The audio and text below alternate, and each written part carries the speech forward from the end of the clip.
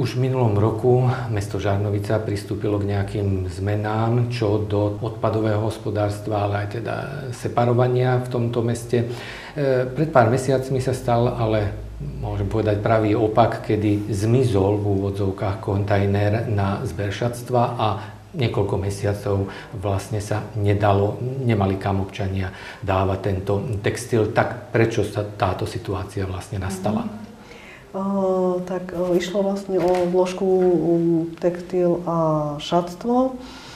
Tieto kontajnery sme mali zapožičané na základe zmluvy so zberovou spoločnosťou alebo s občianským združením, ktorý má tieto kontajnery vlastne po celom Slovensku. Ale z toho dôvodu, že Nebol to problém len mesta Žarnovice, ale e, bolo to aj viaceré mesta, kde mala táto spoločnosť kontajnery, že občania do týchto kontajnerov už e, nedávali len také šatstvo, ktoré bolo vhodné na ďalšie využitie, skončil tam akýkoľvek iný odpad, e, dotrhané veci, zašpinené veci, koľkokrát tam bol dokonca aj kuchynský odpad hodený, čiže o tejto spoločnosti vznikali ďalšie navyše náklady, lebo museli vlastne triediť to šatstvo, ktoré bolo vhodné na ďalšie využitie a vlastne vznikali im aj odpad, teda náklady s likvidáciou tohto odpadu, ktorý sa už nedal ďalej využiť. Nás to mrzelo, lebo sa vlastne niektorí občania zneužívali tento systém zberu tak teda tá občianska teda to združenie alebo tá zberová spoločnosť sa rozhodla stiahnuť tieto kontajnery. Mm. Viem, že ich stiahli aj z Kremnice, pri Žiari nad Hronom, čiže neboli sme to teda len my. No ale v zápätí sme začali rokovať ďalšou zberovou spoločnosťou, ktorá sa tiež zaoberá zberom šatstva, ale tiež je to vlastne takého šatstva, ktorý sa dá ďalej využiť. Čiže, Čiže je to na charitu mm-hmm. vlastne určené to šatstvo. Kým teda to vyrokovali, kým sa podpísala zmluva, tak ubehol ten nejaký čas, tak zhruba tie 3 mesiace to tak trvalo. No ale už teraz od prvého alebo od polovičke febru, septembra máme teda už kontajnery na tom istom mieste, kde aj boli na zbernom mieste mestského trhoviska. Sú tam kontajnery na šatstvo textil. Tu si dovolujem upozorniť, taktiež o, nás o, upozornili o, táto zberová spoločnosť, aby tam ľudia dávali šatstvo, ktoré je ďalej využiteľné žiadne také, taký textil, ktorý je dotrhaný, špinavý, ktorý sa už ďalej nedá využiť, taktiež ani iné zložky odpadu. Mm, táto informácia išla aj občanom, bolo to vyhlasované v mestskom rozhlase na webovom sídle mesta, aj občasníku teraz, čo vyšiel, tam sú podrobné informácie, čo možno do tých kontajnerov dať a čo tam vlastne nepatrí. Mhm. Tak dúfame, že občania sa teda poučili a že budú vlastne do tých kontajnerov dávať to, čo tam vlastne to, čo tam patrí. patrí. V podstate humanitárne nejaké... Je to human, šat... takisto o, na tej báze, čiže o, oni budú vlastne brať len to šatstvo, ktoré je ďalej využiteľné, nositeľné tak. Jasné. No to tie kontajnery, ktoré boli vola kedy po celom sídlisku, tiež teda nejaká tá spoločnosť to stiahla. To už roky, roky tak áno. už... A tu sa ale teda vynára v tomto prípade otázka, kde majú dávať ľudia tie nepoužiteľné, vlastne mm-hmm. nazvem to staré handry. No zatiaľ sa to dáva bežne do komunálneho odpadu. Ako je mesový teda komunálny odpad, e, zatiaľ nie je mm, ten systém vytvorený na zber odpadu z textilu. Mm-hmm.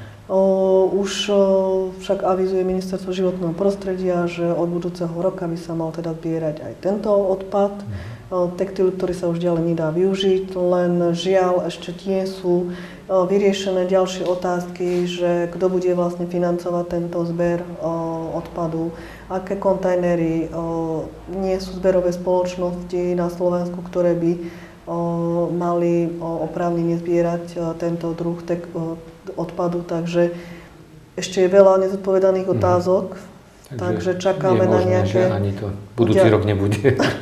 nejaké usmernenia, nejaké bližšie informácie, či sa tá účinnosť potom presúkne o nejaký ďalší rok, kým sa nachystajú mm. tie veci, aby fungoval ten systém zberu, ako by mal.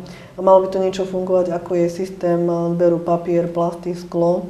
Mm. Čiže pribudne ďalší ako keby kontajner vedľa áno, práve na textil. Zatiaľ nie je, nie je nič vymyslené, mm. alebo nie je ani schválené, že ako by to teda malo fungovať ten zber. Nie je tzv. organizácia zodpovednosti výrobcov, ako sú pre tieto zložky, ako je sklopapier, plasty, tetrapaky, čiže by mala sa nejaká spoločnosť vytvoriť, ktorá vlastne by sa preplácala tie náklady so zberom. Venovala práve odpadu. tejto zložke. Mm-hmm. Lebo je to tiež ďalšia zložka separovaného práve. odpadu. No. Mm-hmm.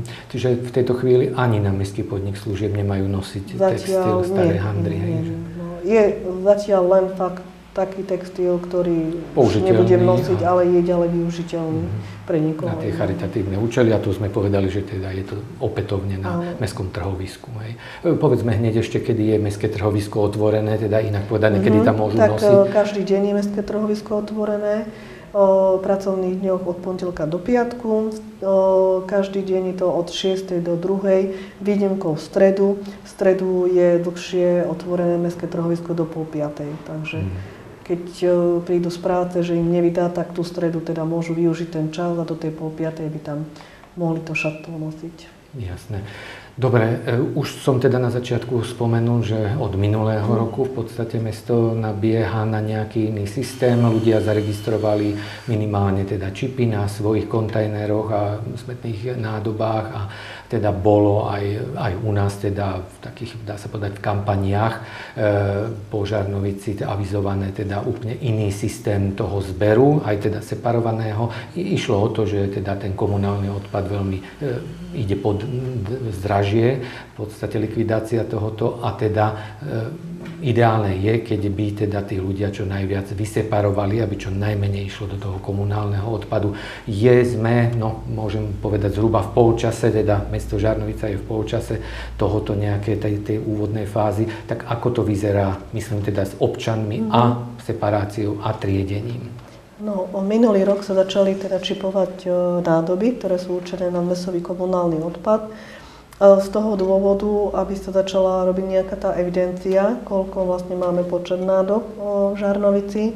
A vlastne tento rok, v letných mesiacoch, sa začali vlastne tieto začipované nádoby vlastne párovať s tým konkrétnym domom, tou konkrétnou nehnuteľnosťou. Čiže potom vlastne musíme spraviť aj taký teda program na prepojenie teda toho poplatníka s tou nádobou, čiže už e, keď sa vlastne budú budúci rok vysypať nádoby, by už pekne malo vlastne byť vidieť v tom danom programe, ktorý o, má mesto, že komu bola tá nádoba vysypaná, komu tá nádoba Kol, patrí konkrétne, koľkokrát v roku. Čiže už robíme všetko preto, aby to teda fungovalo toho 1. januára tým, že doteraz teda občania platili paušálny poplatok. To čo znamená, že e, bol to jednotný poplatok pre každého občana. E, teraz by sme mali teda nabehnúť na ten e, nový systém, tzv. nevážený množstvový zber, čiže opäť sa teda vyrobia poplatky, ale podľa frekvencie zberu. Hej? Čiže teraz je frekvencia zberu raz za dva týždne, tá aj zostane, ale niekomu napríklad, kde sú jednočlenné domácnosti alebo maximálne dvojčlenné, že im stačí aj raz za mesiac, hej, tá nádoba vyviesť, tak aj tam sa vlastne tá frekvencia teda potom uspôsobila aj tento ten poplatok. Ale všetko je to zatiaľ len no, v tej rovine no, akože prípravy, no, konkrétne informácie, ako to presne bude fungovať 1. januára budú ešte teda občania podrobnejšie informovaní prostredníctvom dostupných médií, takže hmm. pracujeme na tom, aby Jasne. sme teda začali s tým množstevným poplatkom mm. občanov. A teda bude to 1. januára? Lebo to o, je... Určite to začneme, mm-hmm. o, len ešte tie, tie podrobnosti, hej, tie detaily ešte do... musíme vlastne dopracovať. O, pracujeme na všeobecnom záväzných nariadeniach, No, získavame informácie aj z iných miest a obcí, ako to už e, majú zavedené, inde ako to funguje. tak aby sme vlastne vychytali všetky tie počiatočné problémy, ktoré sa môžu vyskytnúť, lebo určite sa nejaké vyskytnú. Aj tak sa vyskytnú, aj no, keď teda odkúkávate od iných, ale Áno, vždy ten systém, keď sa zavádza, tak e, potom idú nejaké veci, ktoré treba vlastne ďalej dopracovať, ale... Za jazdy, no to s tým sa nedá nič, samozrejme. rátať, áno, hej. Jasné. Takže nie, Takže ešte teda na tom pracujeme a pokiaľ teda budeme mať podrobnejšie informácie, určite spravíme ešte teda rozhovor roku, aj že budeme vlastne informovať občanov. Uh-huh. Dobre, no e, robilo sa to teda, to čo som povedal, aj s tým zámerom, aby klesol komunálny odpad. E, vy ste na číslach teda, myslím, zbadali za toho pol roka, možno už aj 3 čtvrte roka, ako sa toto hovorí uh-huh. a teda zaviedlo sa nejaké ako to čipovanie. Ako sa zaviedla tá frekvencia teda nižšie, Áno, tak... raz za dva týždne, tak klesajú nám teda tie množstva komunálneho Čiže odpadu, ľudia viac separujú, ktorý, môžeme povedať. Áno, viac triedia, čiže menej odpadu sa teda odváža na skládku odpadu. O, dúfam, že ten odpad nekončí niekde inde. Mm, ako čierne skládky, myslíte? čiernych mm-hmm. skládkach, ale tak uh, my veríme, že občania mm. sú teda zodpovední, že lepšie pristupujú k tomu triedeniu tých odpadov, že toľko tých odpadov teda už nevzniká. A vlastne sa mm, zistilo, že pravdepodobne teda väčšine občanov tento, táto frekvencia postačuje raz za dva týždne. No a... No a bude e, to, čo najviac samozrejme ľudí zaujíma, e, teda poplatky. E, zostanú budúci rok také isté poplatky, alebo tým, že sa viac teda separuje, teda budú nižšie? teda budú závisieť od, teda od toho keďže je to nevážený množstvový zber, to znamená, že nebude sa teda vlastne vážiť, koľko teda odpadov vyprodukuje, ale vlastne koľkokrát bude mať teda vyloženú tú nádobu pred svojim rodinným domom, hej. Čiže dajme tomu, bude mať, zaplatí dopredu 26 vývozov, ale počas roka si povie teda, že mu to stačí menejkrát, že nenaplnilo tú nádobu, tak vyloží, čo ja viem, menej, tak potom sa mu to vlastne bude ten výmer zase upravovať na ďalší rok. Na, Čiže na už nebude ten... O... A nebude toľko platiť tým tak, pádom za, za každý. Mhm. No a teraz ale ľudia platia ešte stále po starom? Áno, teraz platia ten paušálny poplatok, to je jednotný poplatok pre všetky. A vlastne, keď sa nastaví teda ten systém, tý, ale tá frekvencia zostáva tá raz za dva týždne, mm, hej. No Čiže a... sa vyrobí 26 vývozov, hej.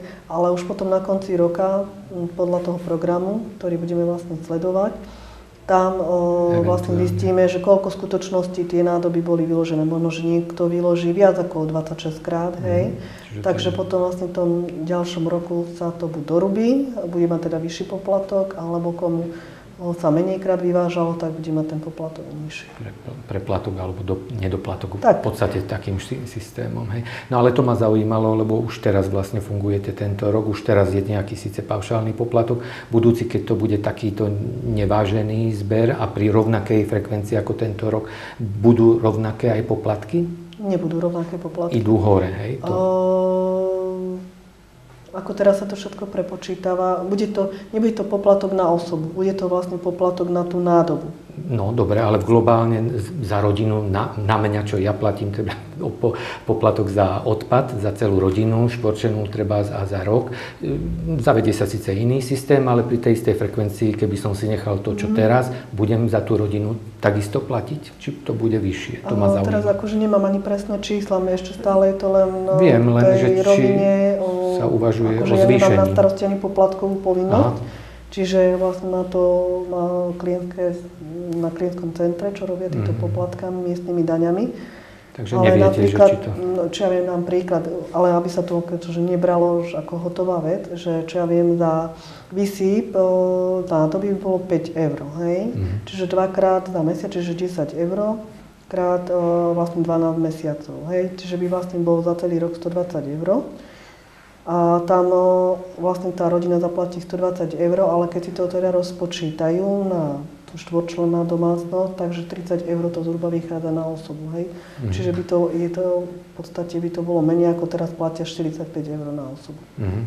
Čiže Ale akože to bol len príklad, že keby bol zvoz za jeden zvoz tej nádoby 5 eur, hej? No, ale ja neviem, aký bude ešte teda ten poplatok. Uh-huh, čiže nemôže čiže nebude sa platiť za osobu paušálne, teraz bolo, čo ja viem, boli 4 ľudia v domácnosti, tak uh-huh. 4 x 45, ale teraz sa vlastne bude platiť za tú nádobu, koľkokrát vlastne si ju vyložil ten novom roku. No a sídlisko, kde je na celú bytovku jeden celý, kont, alebo dva kontajnery, 1100 e, litrové?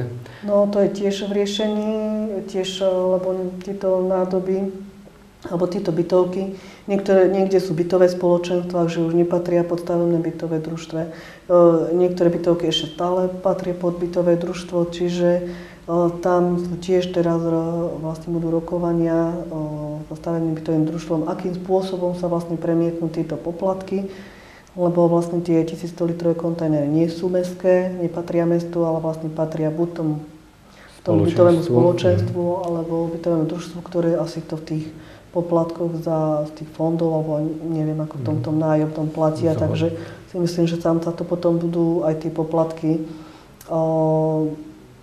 do, tej, to a... do toho predpisu, alebo čo sa dáva o, mm. pre tých nájomcov, sa to tam bude zahrňovať. Premietne. Mm-hmm. Dobre, takže každopádne zatiaľ, čo sa týka peňazí, neviete e, nič, budete viac vedieť koncom roka, teda môžeme sa rozísť s tým, že koncom roka sa zídeme a poviete mi už potom presnejšie, že čo Určite, ako, áno, aj aký systém.